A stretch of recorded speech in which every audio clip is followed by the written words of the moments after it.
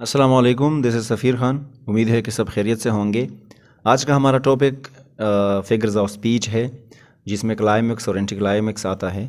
और ये आप लोगों ने वीडियोस वगैरह इस पे देखे होंगे, लेकिन ये हम इस लिहाज से पढ़ेंगे कि अगर एज लिटरी फिगर इसको ना पढ़े हम, और मूवीज़ या प्लॉट या नावल पे हम इसे अप्लाई करेंगे तो कैसे अप्लाई करेंगे?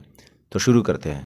तो सबसे पहले अगर क्लाइमेक्स की बात की जाए तो ये एक मूवी में या पीस ऑफ़ म्यूज़िक में मोस्ट इम्पोर्टेंट या जो पार्ट होता है, उसमें आगे जाने को या पीक पे जाने को हम क्लाइमेक्स कहते हैं।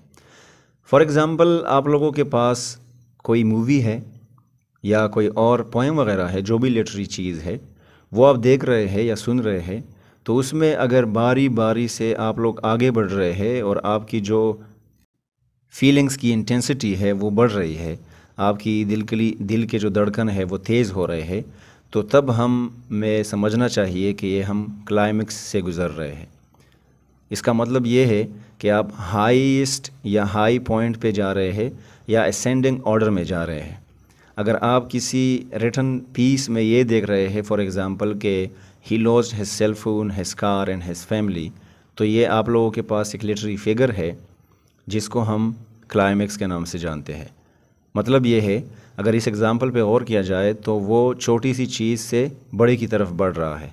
उन्होंने अपने सेल फ़ोन को खोया, अपने गाड़ी को खोया और फिर अपने फैमिली को खोया।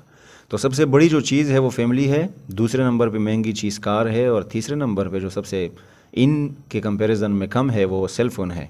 तो इसको हम क्लाइमेक्स कहते हैं। इसकी तरह बहुत सारे एग्जांपल्स है, आप लोग खुद रोज़ाना के डेली सेंटेंसेस और फ्रेजेस में भी इस्तेमाल करते हैं। मूवीज़ की तरफ़ अगर हम बढ़े तो थ्री इडियट्स आप लोगों ने देखी होगी।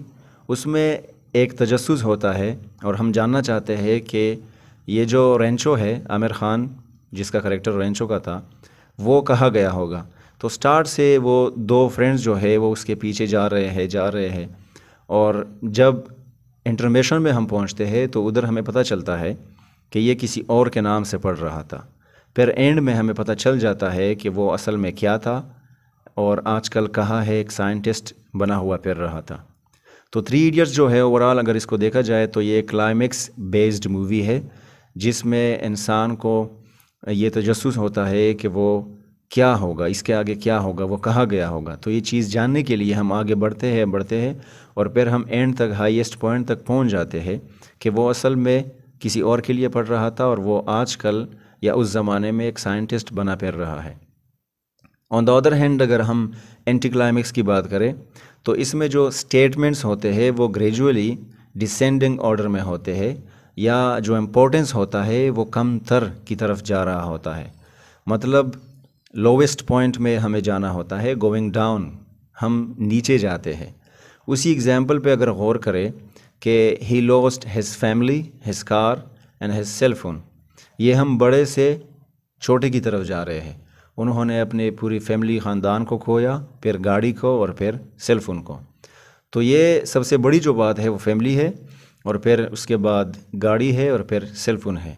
तो उन दोनों एग्जांपल्स को, इन दोनों को अगर हम कंपेयर करें तो उस ऊपर के एग्जांपल में हम असेंडिंग ऑर्डर पे जा रहे हैं, सीढ़ियों को सीढ़ियों पे चढ़ रहे हैं और इधर एंटी क्लाइमेक्स में हम नीचे जा रहे हैं सीढ़ियों से। इसके अलावा अगर मूवीज़ वगैरह पे बात करें तो आप लोगों ने अगर मूवी देखी है सलमान की हम दिल दे चुके सनम, इसमें स्टार्ट में जो होता है, हम क्लाइमेक्स में होते हैं कि ऐश्वर्या राय जो है वो सलमान खान को मिलेगी और उससे शादी करेगी। लेकिन फ़िल्म के एंड में 90 और 80 परसेंट फ़िल्म देखने के बाद हमें ये रियलाइज़ होता है कि ये तो अजय देवगन की ही हो जाती है, जो कि उसके साथ उसकी शादी हुई होती है। तो जब मूवी में, ड्रामे में या किसी और चीज़ में हम पहले तजस में होते हैं, हम चाहते हैं कि जानना चाहते हैं कि आगे क्या होगा, वो क्लाइमेक्स होता है और जब वो चीज़ बोरिंग लगने लगती है या उसका एंड ख़राब हो या कोई और मसला उसमें आ जाए या जो हम देखना चाहते हैं वो उसमें ना हो तो इसको हम एंटी क्लाइमेक्स कहते हैं। तो क्या होगा, ऐश्वर्या और सलमान की शादी होगी, तब तक ये क्लाइमेक्स है और उसके बाद जब अजय देवगन आ जाता है, उसकी, उसके साथ शादी और फिर उसे एक्सेप्ट कर लेती है तो ये एंटी क्लाइमैक्स है। वो मूवी जो है, वो बोरिंग लगने लगती है। या उसका जो प्लॉट जो है, वो फिर नीचे एंटी क्लाइमैक्स में चलना शुरू कर देता है। होप कि आप लोग क्लाइमैक्स और एंटी क्लाइमैक्स को फिगर्स ऑफ़ स्पीच के नज़र से भी समझ गए होंगे। और जब हम इसे किसी मूवी पे या ड्रामा पे अप्लाई करते हैं, उस लिहाज से भी समझ गए होंगे। अगली वीडियो तक अपना बहुत सारा ख्याल रखिए. Thank you very much